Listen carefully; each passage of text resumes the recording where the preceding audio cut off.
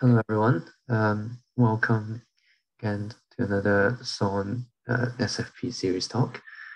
Uh, today, we are uh, honored to have Dr. Charles Hillman with us, um, who's an AFP, um, uh, on the topic of critical appraisal of a paper. So um, I'll hand you over to Dr. Hillman. Thank you very much. Yes. Um, so I was asked to do this presentation, critical appraisal of paper. Um, I'm hoping because it's quite a small audience, we can get um, some good um, engagement. So um, I know, you know, just only just coming out of being a student not too long ago, I know how easy it is to turn off the cameras and get on with other stuff while watching it. But um, if you want to turn your cameras on, feel free. It's always nice uh, talking to faces rather than blank screens. Um, but I encourage you to get involved and if you can, and we can go through it and it just makes it all a bit exciting for everyone.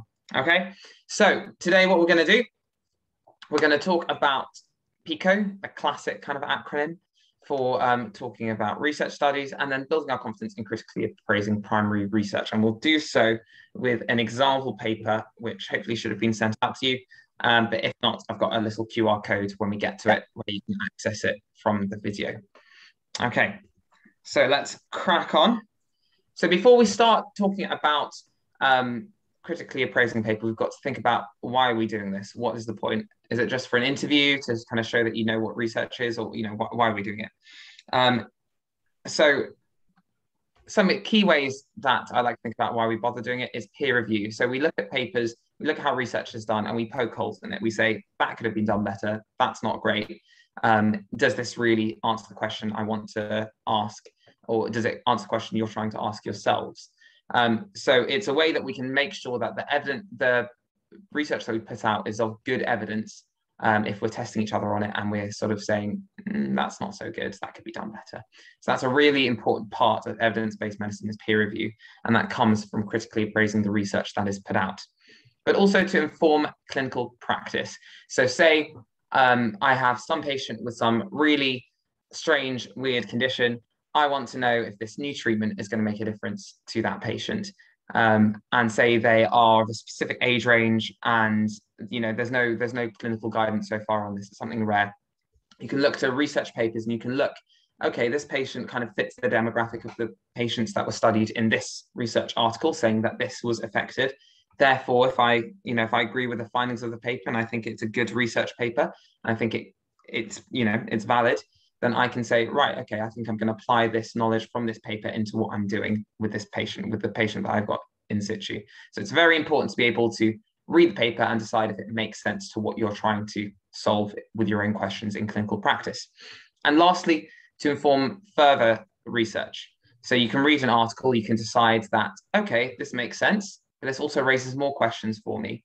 Um, and that can then be a sort of jumping point to say that, okay, I'm going to conduct research based on this one. Um, and I'm going to hopefully kind of follow it up and continue the line to find out more to again further improve clinical practice. So that's the main kind of reasons why we bother critically appraising papers. Um, and it's a necessary evil, I guess, of um, anyone from academics to just normal clinicians that aren't even involved in research. Okay, so first of all, we've got to think what is the question? So um, this is my first step of kind of critically appraising things. And to do this, um, there is a lovely acronym called PICO. Now, does anyone know what PICO stands for?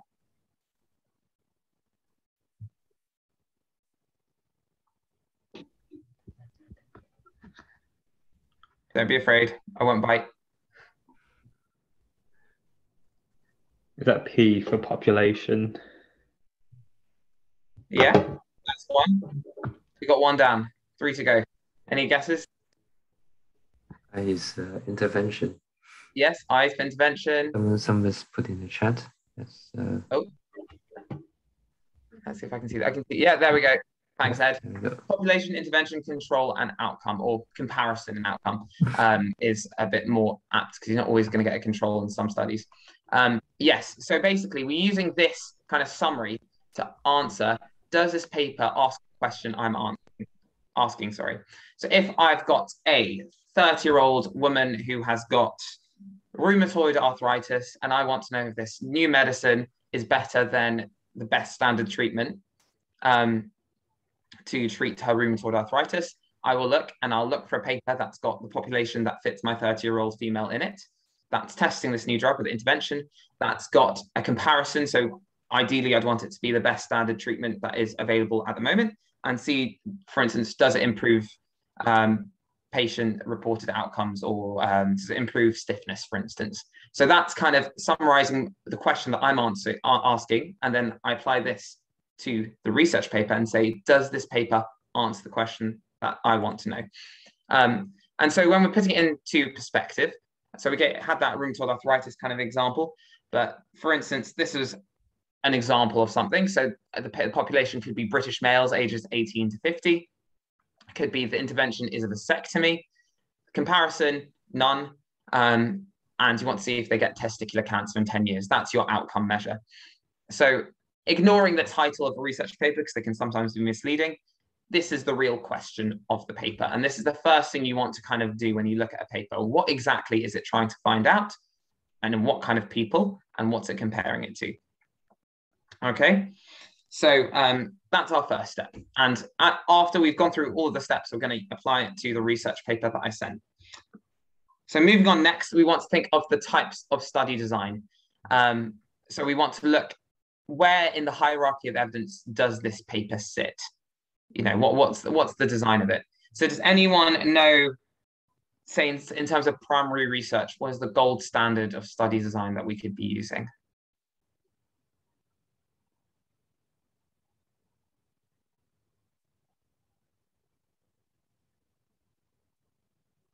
Any guesses? No, okay, that's fine. So um, top of our kind of pyramid of primary research is randomized controlled trials, which I'm sure everyone's heard about. And then we have on top of that kind of systematic reviews, meta-analyses, etc. Um, but we have this hierarchy of evidence, as you guys can see here. So our RCTs are kind of the best, but you don't always have them. And you have cohort studies, case control, etc., case reports.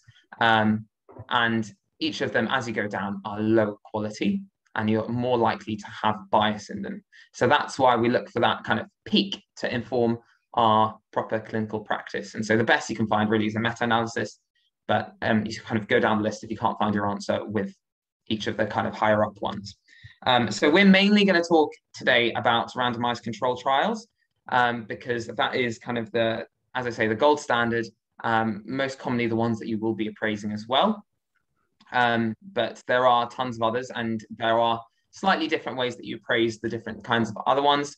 Um, but a lot of things that we'll go through today are applicable to your other kind of types of research. Okay, so then once we've decided what the study design is, um, so say for instance, as a randomized control trial, then we can then look at the methodology. So your first thing that you want to look for is you want to make sure that consent has been gained by the participants and there's ethical approval. Um, it's it might seem unlikely that a, a study can be published without ethical approval, um, but you know maybe some way back in the day from I don't know early 1900s when it wasn't so mandatory, um, these things might not have happened, and so it's um, important to always look at that before you start analyzing the data. Next, we move on to our participants. So we want to know things about their demographics um, because you know, say you're looking into uh, I don't know, mortality after a certain treatment or something like that. Obviously, someone who's very, very old is going to have less of a life expectancy generally than um, someone who's younger. And so, if you're looking at who survives after 20 years uh, after a treatment, then obviously there's going to be bias for the older people um, or the more frail people. So, you want to look at demographics, you want to look how they were recruited. So, if um, I don't know, if, if you're looking for people who uh, you're looking how many people, for instance, are physically active in um, the UK or something like that, and you only place the advertisements for the study on in a, like a fitness magazine, for instance, then obviously you're going to get bias from there. You're going to get the people that actually sign on to the study. You want to look how many people are recruited. That's obviously very important. If you have two people in a study, um, then the findings aren't going to be very significant and very applicable for other people. But if you have thousands of people in a study, then you know that um, at least there's you'll you know some if you see a change and a significant improvement in whatever, then you know that that might be quite significant and applicable. And the inclusion and exclusion criteria. This kind of fits into the demographics, but you want to look that enough of the uh, variables on these people have been controlled for, um, and that you know you're looking about a chance of getting a heart attack in 10 years in a random group of people. Well, if they've had multiple heart attacks before, then they're more likely to have another one. So you want to make sure they've got strict inclusion exclusion criteria that help them answer the question. Next, we move on to randomization. So this is obviously only really applicable in randomized controlled trials, but you want them to have reported how they've randomized people.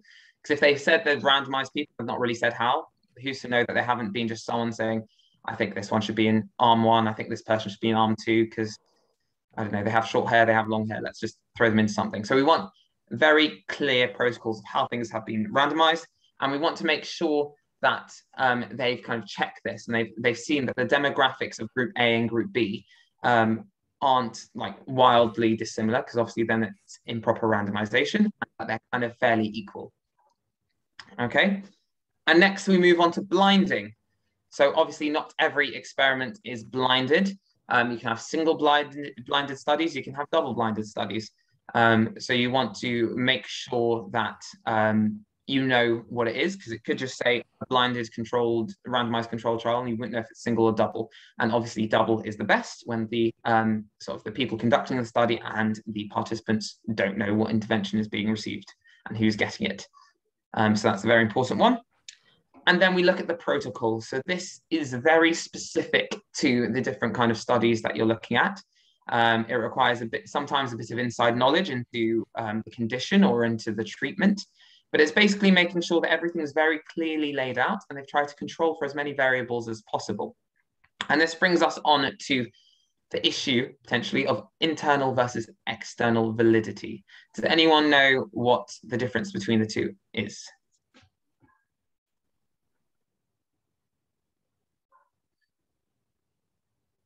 Any guesses, guys?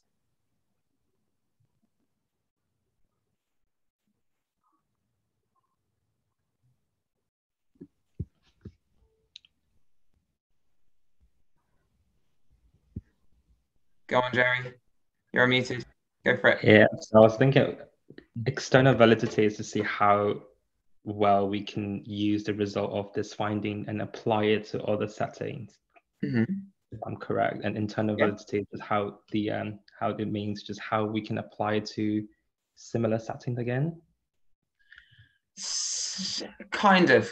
So so you external validity bang on, but internal validity might, might be what you're getting at, but the way I'd use to describe it is um, how well are we answering the question that we're asking, essentially. So if we're saying, does A lead to B, um, regardless of everything else, just if you strip it down to A equals B, well, A plus B equals C, for instance, um, then it's basically how well are we answering that question. And if we strip everything else away from it. So it's, for instance, saying, if you had a person taking statins every single day and exactly the way they mm. should with a perfect physiology, it's like how well does that prevent um, an MI, for instance, versus in real life with people who don't always take their medicines, mm-hmm. uh, with people that you know don't always take them at the right time, with people that have different physiologies. How well do they actually work in the grand scheme of things? So that's our external validity, and the first one's our internal validity. Mm-hmm. So often we like to start with studies that have very high internal validity because we want to make sure that A plus B equals C. But then we want to see actually in the real world, does it really work? So, um, so it's always that kind of balance that you want between the two because the more real life you make it, the less internal validity it has because obviously real life isn't perfect. Um, so that's our protocol. And in our protocol, we also want to think about um, any control that there is or any placebo and how well that is. And that kind of works into our blinding as well if it's a placebo and it's supposed to look exactly the same as our intervention. So we want a clear description of that as well. And lastly, we want to look at the measures. So we want to see, uh, you know, the outcomes. So say they, they're looking about, um, you know, MI, like a chance of getting an MI in the future. How are they looking into that? How are they measuring that? Are they looking through hospital records? Are they using self-reported outcomes, um, you know, objective versus subjective measures. Um, if they're using a survey, has that survey been validated to look what they're to see what they're looking for, or has the researcher just come up with a bunch of questions um, and they think it's going to work and they haven't really said why they think it's going to work. So those are all kind of things you need to be thinking about really. Um, so an example of the subjective versus objective methods is, for instance, with a skin lesion. Skin lesions are often uh, very difficult to really get objectively, like saying, has this improved the skin lesion, this this cream or this treatment? Um, and so saying that, you know, uh, one researcher evaluated if it's got better or not, that's not very um, objective really, because there's one person. If they say they got five researchers who all went to tra- under, underwent a training course in um, rating skin lesions and they used a verified scale um, and they took photos and then counted the number of lesions or whatever that's all more of a clear description of something that's a bit more objective a bit more standardized. So that's always something you need to be looking for with that. So it's really kind of digging down. And as i said in some um, some fields it might take a bit of expert opinion to say that's the best way to measure that or that's a bad way to measure that. So that's always sometimes a bit of a tricky area. So moving on, then have critiquing the statistics. So does anyone know what intention to treat means or per protocol means?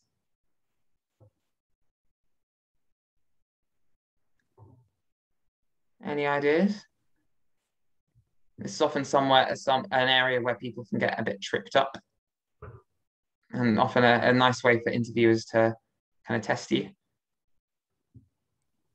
So it per protocol will be only including the the kind of patients who go through the treatment kind of completely as as prescribed and and get to the end, whereas intention to treat is um, kind of more realistic and kind of takes into account everyone, no matter kind of whether they've been kind of taking the the drug or whatever kind of absolutely rigidly or or kind of other things have got in the way yeah yeah bang on. So per protocol is as you said if everyone does it as exactly they're supposed to um, and therefore has a higher internal validity but lower external validity. And then our intention to treat is once you're randomized or assigned a group then you're included in the analysis so this is all about how we come up with our final result and our final findings of the study. Um, so intention to treat has much more external validity in that aspect. So very good, Ed. Um, and then we move on to power calculations. So this is um, complex kind of statistical analysis that they use to find out if, what is the ideal sample size um, to um, basically say that their findings are significant. And this will be different based on the different questions that they have. Um, and there should be evidence that they've done this power calculation. So usually they want to say that at least um, if they have X number of participants, then that's 80% likely that the finding is significant. Um, and they'll state the number of participants that's needed. And then you can say if they manage to recruit maybe a thousand participants and their power calculation said that they need a thousand participants, then they're, you know, they've reached that kind of target. But then if you look later and you see that actually they were going via the per, per protocol analysis and only the data of maybe 800 were analyzed, then they haven't really met their power calculation. And therefore, if they make any conclusions that this is significant, it's probably not. And they've kind of shot themselves in the foot there. Um, so that's another thing you need to look at. And then the p-value. So does anyone know what a p-value means? Or what, what a p-value is used for?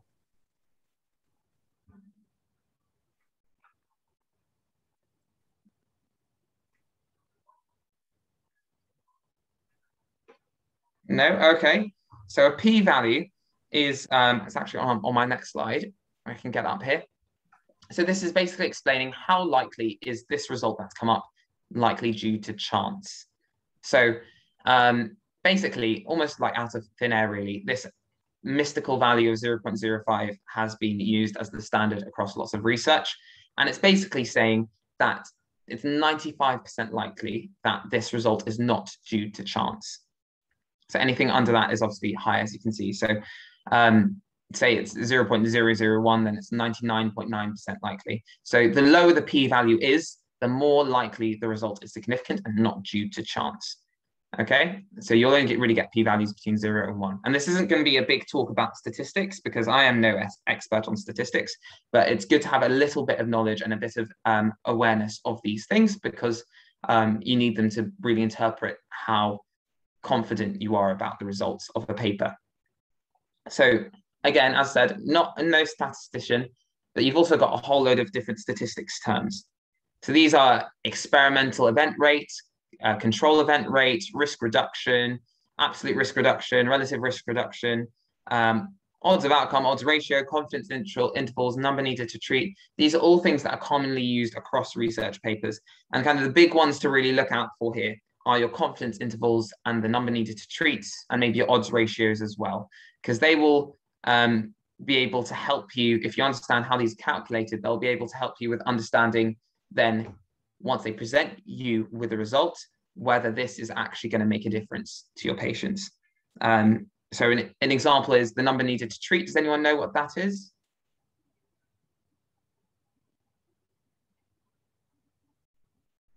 Any guesses?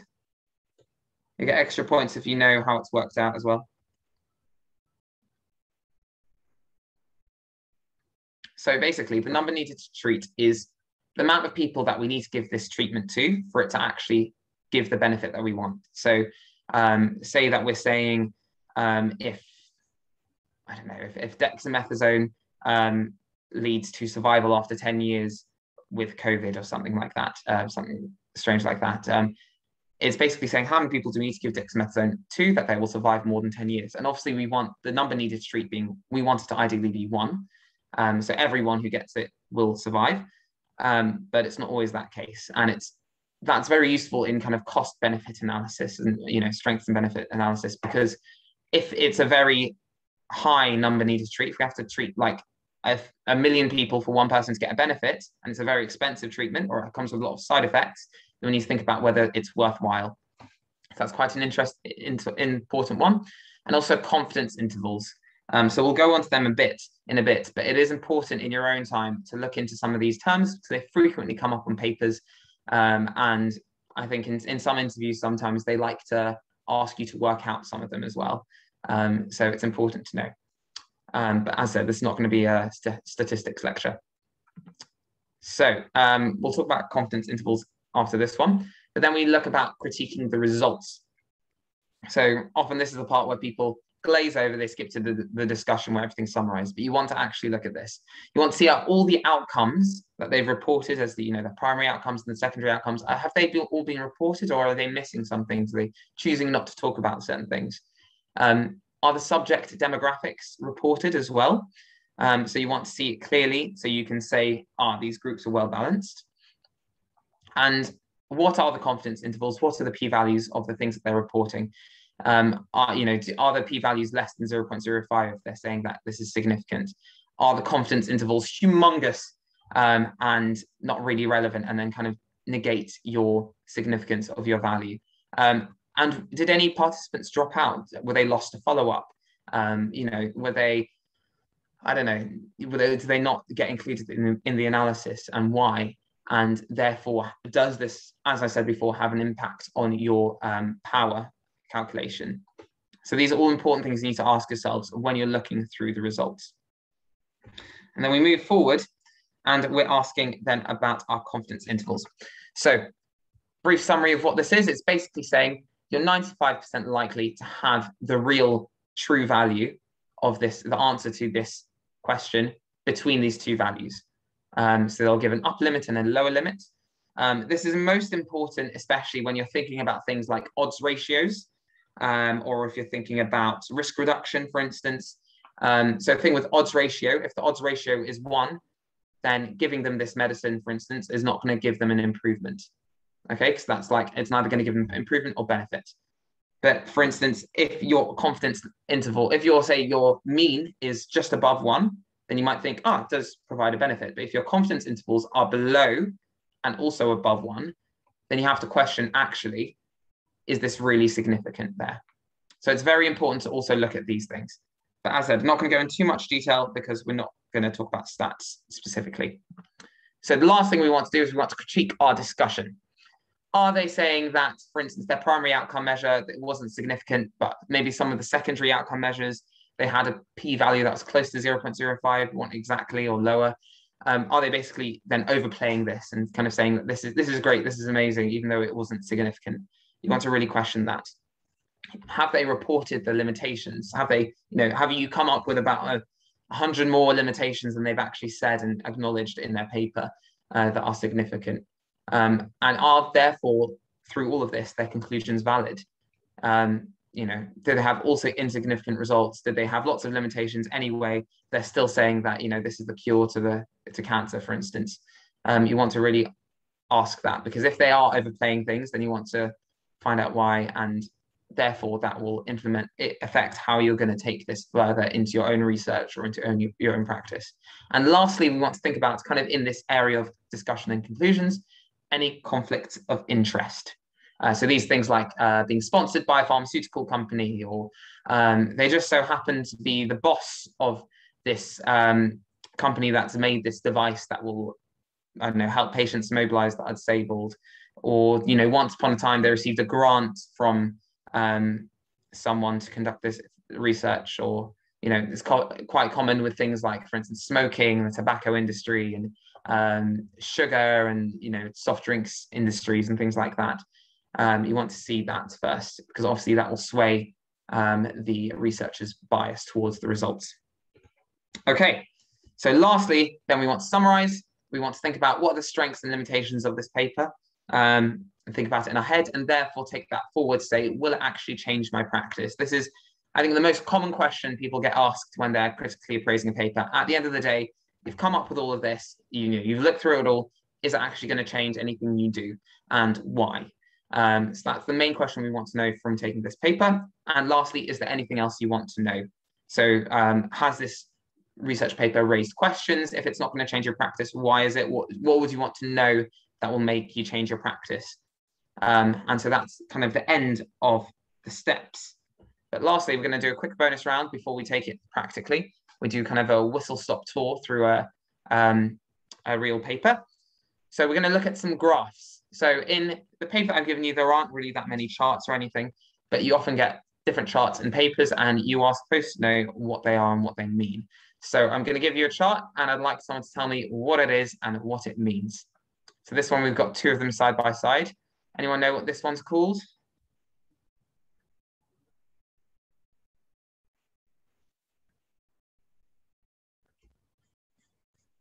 Any guesses?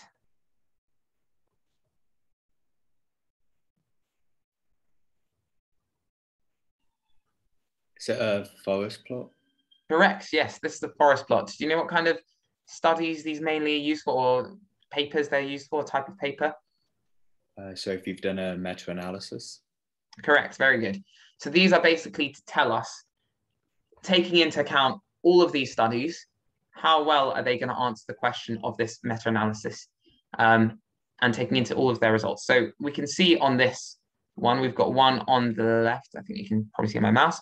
Um, all the different studies we have in the center, that's probably around our mean of the result. And these are confidence intervals either side.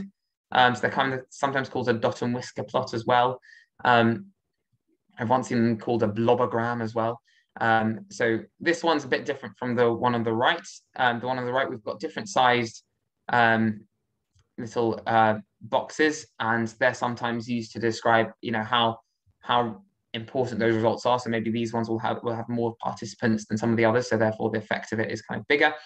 Um, and then at the end, you usually get this kind of summary line um, where it's basically sitting. But the important thing about this is what I said about confidence intervals before, our odds ratio. So if, for instance, if we have this one, which is the mean is over the odds ratio of one, it shows its benefit. But then we've got this, this confidence interval that's way below one, then we can't really be sure that this one is showing, showing an overall kind of benefit because it's 95% sure that's between these lines, the real result. So that's why we like to add them all up this one's not got a summary one, but this one does, which shows that our odds ratio is just above two, which is pretty good. So yes, this forest plot, and it's a nice way to summarize data from different studies. Next type. Anyone know what this one's called?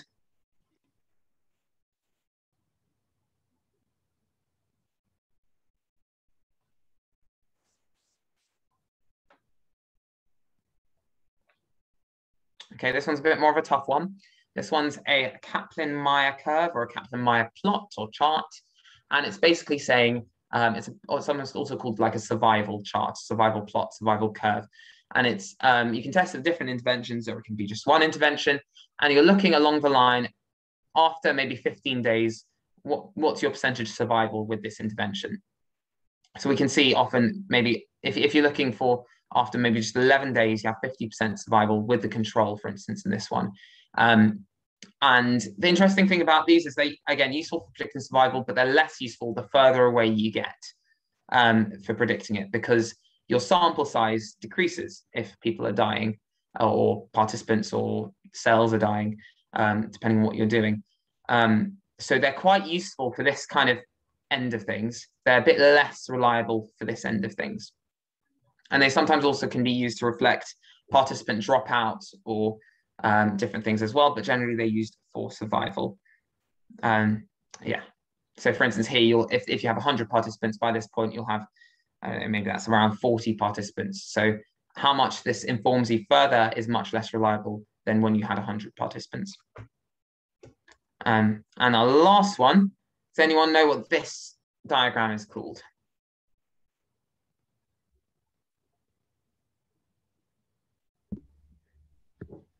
Is that a Prisma flowchart?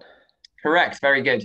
So this is used in systematic reviews or uh, literature reviews, meta-analyses, um, and there to show that you've systematically um, included or excluded papers and how much started off and how much ended up and how much were excluded and why they're excluded.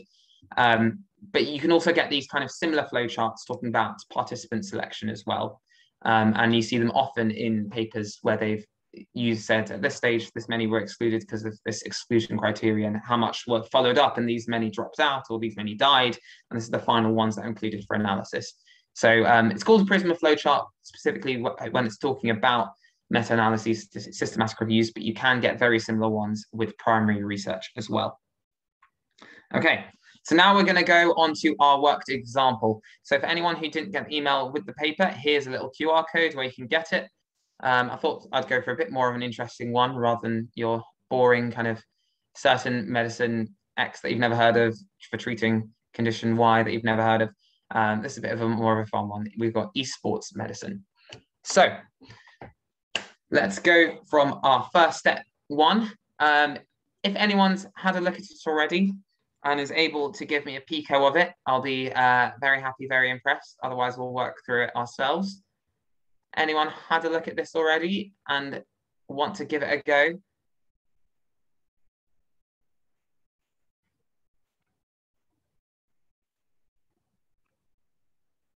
Ah, that's okay. Well, we'll go through it. We'll go through it. So this was a study looking at experienced male and female gamers that were 18 to 13, 30 years old. So we look at that, we can see that on their ex inclusion criteria, I think from memory, they had to have a specific number of hours played, for instance. So that's how we can get their experience.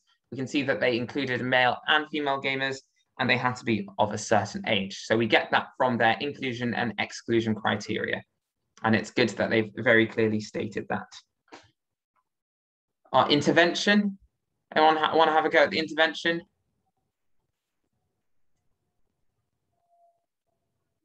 That's okay. So we have two interventions in this one because there are three different arms of our trial. So we have six minutes of a walking break after an hour of gaming or six minutes of a rest break. So not an active break after one hour of gaming, then a further hour gaming after. And this is compared against no rest, so continuous gaming instead. And our outcomes, so our, here they very clearly stated their primary and secondary outcomes. So our primary outcome is the executive function changes in the players, and secondary is the performance and the players' perceptions of that break or intervention. Okay, and so obviously, as stated before here, and as we'll do later, we want to make sure we know our measures of those outcomes as well to make sure that we're happy with them and they're you know quite they're valid in terms of um, assessing them. So Going to move forward to our type of study design. Can anyone tell me what study design was for this study?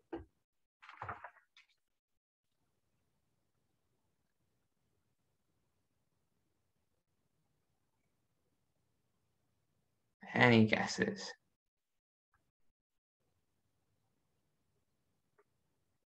If I flip back a few slides, we look at the title, gives us a little clue. Any guesses?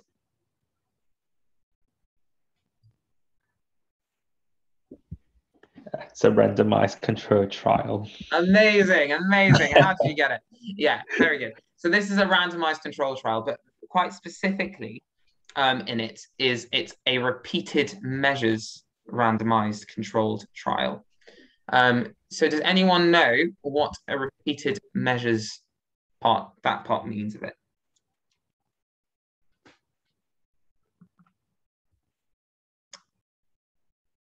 Any guesses? I want to know their thoughts on what repeated measures means as well for the study in terms of its validity.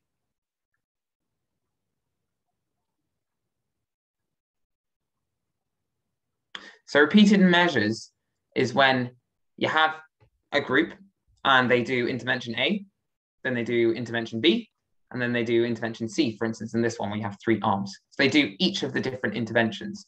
Um, and randomized means they can be randomized to which one they have first or in which order they have them. But all of all of the participants do all the interventions. Can anyone think of any issues potentially with that?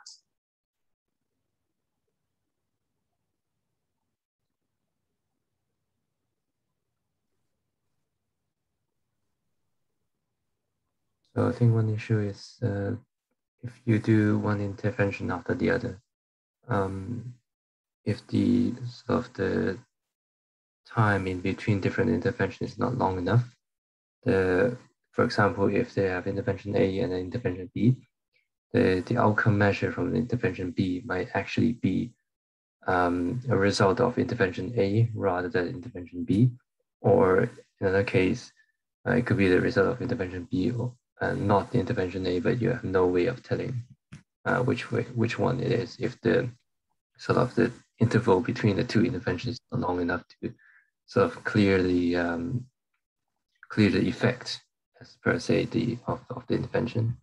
Yeah, totally. So that, that is one um, downside of it as well. Um, for this study specifically, they're looking into questionnaires and things like that as well, and um, and different tests of executive function. And if you're having to do those tests multiple times, the first time you do it, you're probably going to be a bit rubbish because you don't really get it. The other times, you're going to be a bit more familiar with it, and like the, by the last time, you're going to be a pro at this test. So regardless of the intervention, because you're getting better, you're more familiar with it. So um, it's called uh, order effects. That's the kind of bias that you get with things like this. Um, so it's it's like saying, for instance, um, the infamous situational judgment test. Um, while it's something that they say you can't really revise for, you can definitely practice at it. And um, I at least think that the more you practice at it, the more familiar with it, the maybe the better you'll do, maybe marginally, but it, it will still improve your performance. And so that this is the same thing, regardless of whether you, I don't know, take a caffeine pill before your SJT, or if you um, somehow slip some um, amphetamines or something before your SJT, the fact that you've repeatedly done the SJT will definitely imp- impact your performance on it. So that's always a worry with repeated measures. Um, but the fact of this one is, although there are um, three different interventions and they they could be um, subject to um, this kind of order effect. There is a way that um, this study has counterbalanced that. So does anyone know maybe a way in theory that you could kind of counter the effects of something like um, repeated uh, order effects with something like this? You have three different interventions. You're probably going to get better with each one. Does anyone know a way that you can maybe assign participants that means that maybe the overall results might be a bit more reflective.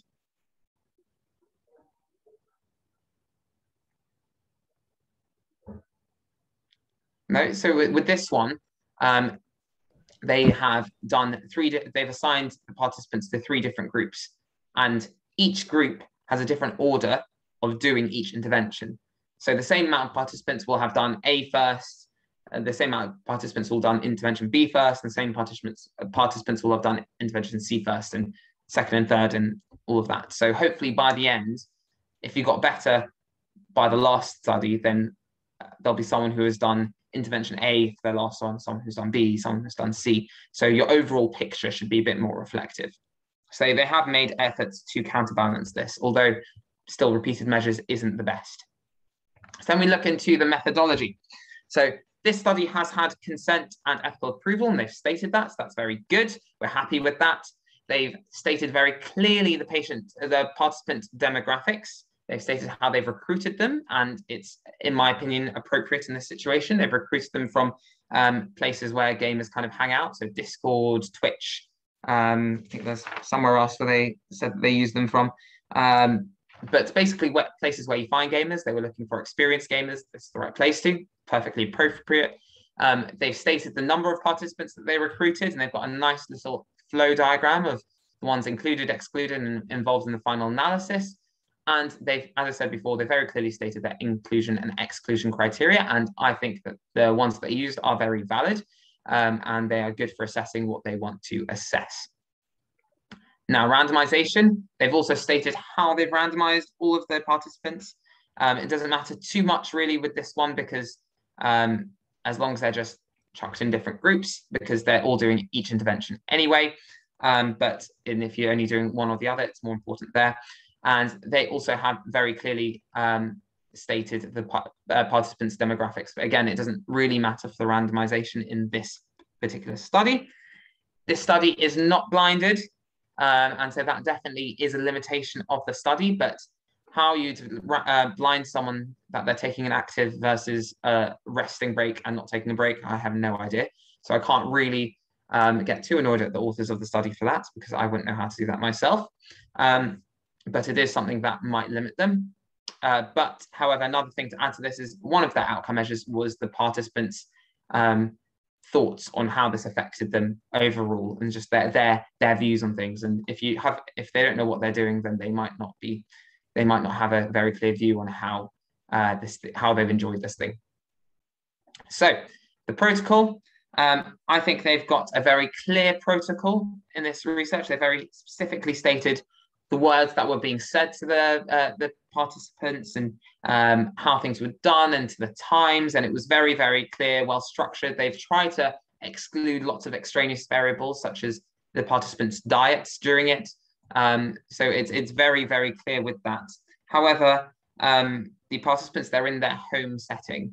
They're not in, for instance, a lab. So they could have, I don't know, throughout the game that they're playing, they could have a, um, a random cat walking across the screen for instance, um, and that could distract them, or they could have, I know, their doorbell go off and that could distract them. And so it's not very well controlled um, for internal validity. But the fact that they're doing it in their own home where they'd normally be playing their games shows they have a good external validity. And things like the computer setup and the game, that was all standardized. Um, however, noted later is that um, the actual gameplay was real life gameplay and so, you know, the other people they could be playing against might be better in certain players and things like that. So um, there is a lot of external validity, but um, they've tried to, to be as good with controlling extraneous, extraneous variables as they could um, with that. And lastly, um, the measures that they've used, they've used a load of standardized and validated surveys and tests to measure what they were looking for. Um, so I don't really have any problems with that. Um, and yeah, I'm, I'm very happy with that. But they haven't got any biometric data, which might have been useful um, to look for things like um, kind of heart rate variability might be good and to look for maybe if they had eye tracking, for instance, they could look on concentrations. They could have a bit more um, metrics and a bit more invasive metrics, maybe if they wanted to, to properly answer their question. But this was much more from a sort of COVID kind of era when they couldn't have patients um, come into the lab and um, do things in real life like that. So they kind of making do with what they could at the time. So that's our methodology critiques. Um, next, we move on to the statistics. Statistics. Um, so this one is a bit more of a difficult one in terms of intention to treat or per protocol, um, because they had people play the games and then they um, uploaded the data and then that was that was basically it. It wasn't really following a treatment for a certain period of time. However, in our little flow diagram, it does state that certain uh, participants were not included in the analysis. Um, that's maybe because they didn't complete the, all of the different arms of the trial or they can upload their data. Um, so you could say that this, if you're picking between the two, this is more per protocol, the ones that were analyzed because those ones weren't included in the analysis, the ones that didn't complete all of them. Um, we can see very clearly they've got their power calculation that 20 participants would be enough to um, uh, for their outcome measures. And that, again, they stated an 80% likelihood with that. Um, and they had 21 participants, so I'm happy with that. And they very clearly stated that the significance of the study was set to a p-value of less than 0.05, which I'm also very happy with. So they've been all very good with their statistics there. And they've also um, explained how they're going to be including their statistical analysis, so the program they're using. And so it's all very kind of replicable. So if I was to use the same system and analyze all the data, given the raw data, then I could come up with the same kind of values, the p-values and the means and everything like that. So all very nice, very clear, very transparent. So next we move on to the results. Um, so have they reported all the outcomes? I think they have reported all the outcomes. Uh, you can correct me if I'm wrong. Um, and they also haven't lied about some of them being significant when the p-value is if, it, if it's over 0.05, they quite um, clearly stated this wasn't significant or there weren't significant differences found in these things. So I was happy with that. The demographics were reported. We've got a nice long list. And something that um, you should do is obviously look through all of this as well. Um, I think they were looking for maybe was gender differences. And if you look quite clearly at their kind of report of all of them, most of them males versus females were fairly well balanced. However, um, there's a quite significant difference in the hours played weekly in the men versus the women. So therefore, the men probably are more likely to be more experienced, and maybe that might have might have an impact in your analysis later on. So little things like that you can pick up on and you can see. Okay, and then lastly, they don't really report confidence intervals on here. They have they have the range of values, so that kind of changes things slightly. I would have maybe quite liked some confidence intervals, but um, we'll stick with ranges for here. And lastly, we spoke about dropouts. Um, you know, we've got nine that didn't complete it, I think, or eight, and they've stated why um, and why they haven't been involved in the analysis. So we have a nice mixture of things that promote external validity and uh, some things that uh, promote internal validity here. Um, I think this probably was aimed to be something that would be done in the lab with high internal validity, but then COVID happened, they had to adapt things, really. So lastly, we're critiquing our discussion conclusion. I don't think they overplayed um, insignificant results. However, they did in, in the discussion start talking about physical health and how exercise, you know, a break might be good for physical health um, and kind of almost kind of sneak, sneak that into their conclusion, but they didn't examine any of those parameters. So be wary of that. This, this study isn't coming to any conclusion about uh, this break being good for your physical health, although a break after an hour is very good. We know from other studies. Um, they've stated all their limitations very well. They've been very frank about them, um, which is very good, very honest. I couldn't come up with too many more limitations that they had, uh, except maybe the sample size, even though the power calculation was 80% with that sample size, I think anything that's reporting a sample size of 20 isn't could do better really. Um, and I think their conclusions are quite valid, really. Um, and lastly, none of the authors, they, none of them declared any conflicts of interest. If I was going to go really deep dive into really critiquing the paper, I could Google all of the um, the authors and I could look for myself if um, if there's anything on there. Uh, but you'd hope that um, all honest authors would report their conflicts of interest, which most do. And lastly, we've got to summarize. So, um, as I said before, if I was saying this from my point of view with the strengths and limitations, I could say that this one does have quite a high element of external validity in it. Um, I think they've been very clear with their methodology. I think they've got um, they've definitely done their best of what you could do in a COVID scenario to try and standardize things, um, and that was good. Limitations, I thought, um, all of the ones they basically said in the paper. Um, they were talking about um, again, not having that kind of internal validity side of things as much.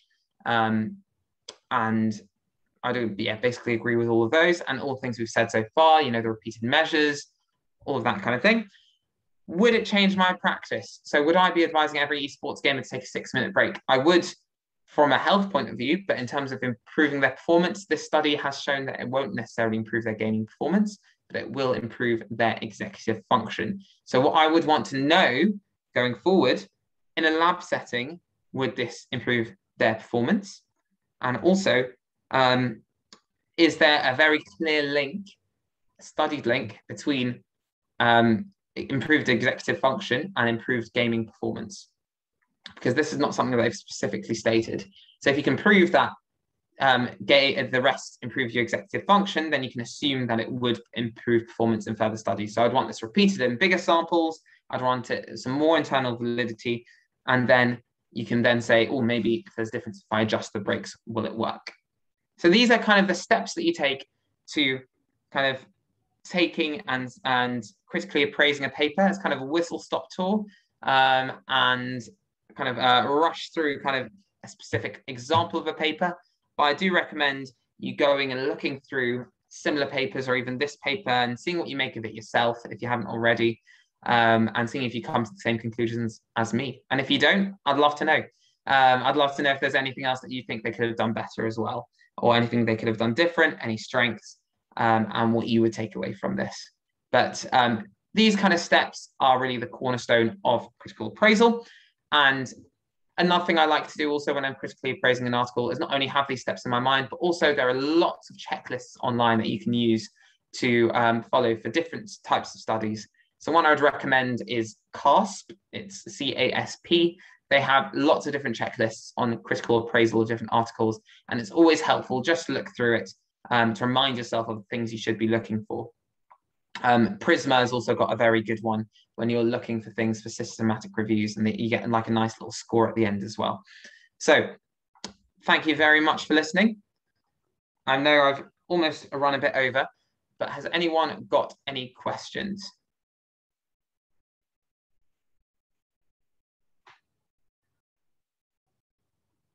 must have done a very good job then. Can't complain. no questions at all? I'll, I'll take that. Thank you very much. Thank, thank you very much, Dr. Hillman. That was really brilliant. Brilliant. Thanks very much. No problem. Um, don't forget to fill in the feedback form. Always